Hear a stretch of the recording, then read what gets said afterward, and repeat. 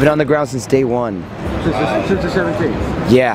Have you, okay, have you left I took- area since then? Yeah, I took two days off on the on the, uh, the day of the. Uh, you know, I might lose a whole lot of street cred right now, but when I saw the uh, the Mace Day coming, the Mace, the Mace, the first day that they got maced, I saw that coming, and I was just like, Well, what do you mean it's not? Touch point how? Like, "What do you mean? If you, it's like, here we go. Watch out. Watch out. This guy right here in the.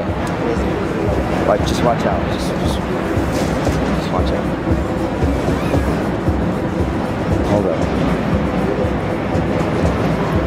So I, when you add two things, that two or three things together, and you you know you, you, you cook it for a little while, you know what you're gonna get. You don't have to be a, a fortune teller to know that if you leave the bean, if you leave, it's like you don't have to be a fortune teller to know that if you leave food out, it goes bad. right. You know, so I knew that.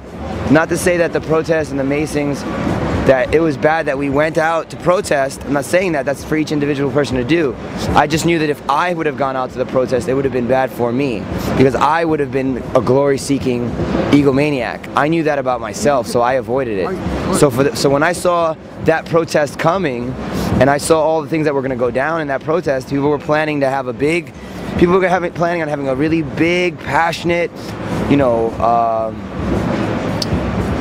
what do you call uh, a military excursion? But that's not an attack. It's just an excursion. Like Reconnaissance or? Uh, no, like a campaign. Like they were they were planning to have a real big campaign to go out and take Union Square and take this and, and do that.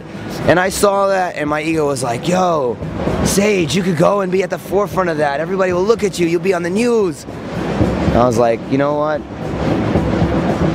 I'm just gonna leave. I'm just gonna take this invitation to go hang out with this chick and hang out for a weekend. And, and I'm gonna take two days off. And I might be criticized for like running away when the, sh- the stuff gets hard, but I'd rather do that than, than, than have people accusing me of trying to, you know, be an attention, you know, have people. I don't. I don't. I, There- I think we're smart. Well, here's the thing. Here's the thing. If your gut's My battle. Your gut's telling you don't do something. My gut was all twisted in knots. I had to flip a coin a lot. And I had to just make a decision with no emotion whatsoever. I had to just make a decision up here. Yeah. Like I had to just go like, this is what I'm gonna do, and if it's the wrong thing, it's the wrong thing. But and uh,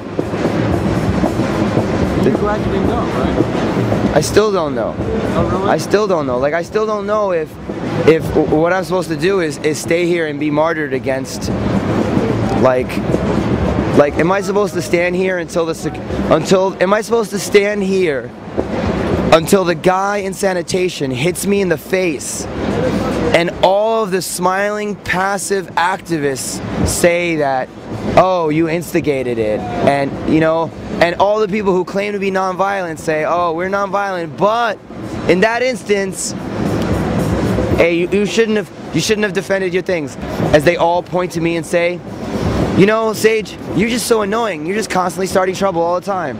You know what? I'm going to avoid that because that's the that's the kind of that's the kind of the language and the kind of the kind of accusations get that get spit.